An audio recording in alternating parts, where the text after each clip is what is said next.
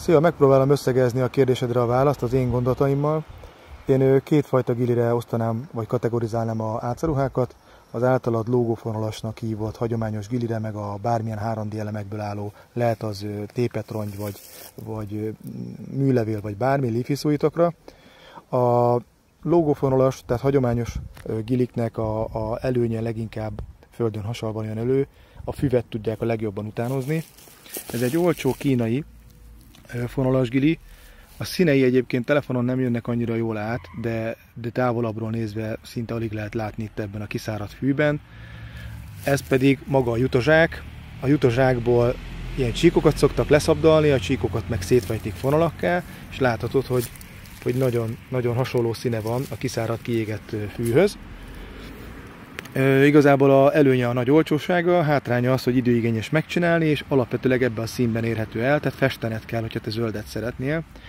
A festéssel meg el lehet rontani a dolgokat, tehát lehet ilyet is csinálni, ami aztán nem is hasonlít egyáltalán a zöldre, már a, a fűzöldre.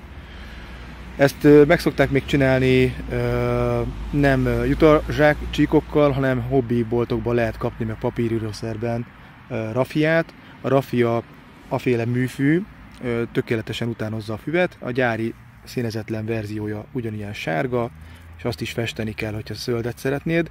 Ugye alternatíva az, hogy felrakod az alap sárga, szürkés, barnás színeket, és zöldet nem festesz, hanem kitéped a növényzetet és magadra kötögeted, és akkor az igazi természetes zöld az, az szépen megmutatkozik.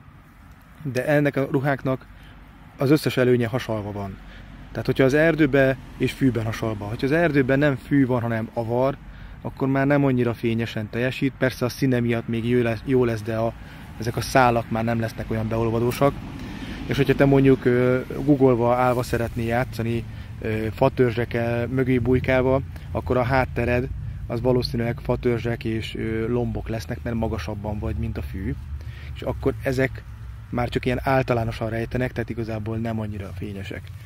Most a levélruhák azok meg a nevükből adódóan kifejezetten a levelek között dominálnak. Mindegy, hogy most egy olcsó kínai lifisuitról van szó, vagy egy drágábbról, de ezek meg nem a fűben hasalva rejtenek jól, hanem a levelek között.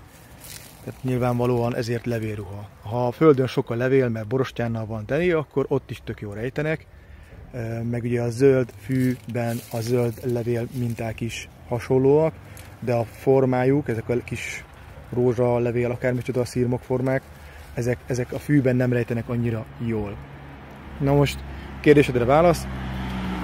Ha szeret hasalni, akkor zsinóros giliket preferáljál, ha, ha inkább fáramászós vagy, vagy fa mögött gugolós ilyesmi, akkor leveles gilit.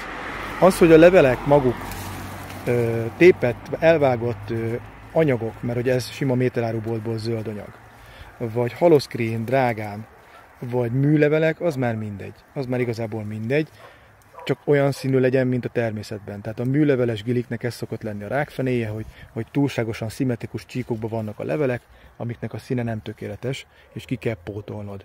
Tehát inkább építeni kell egy leveles ruhát, nem pedig venni egy, egy sima, én, 20 ezer forintos levélruhát, és azt hinni, hogy az elrejt. Remélem tudtam segíteni. Sziasztok!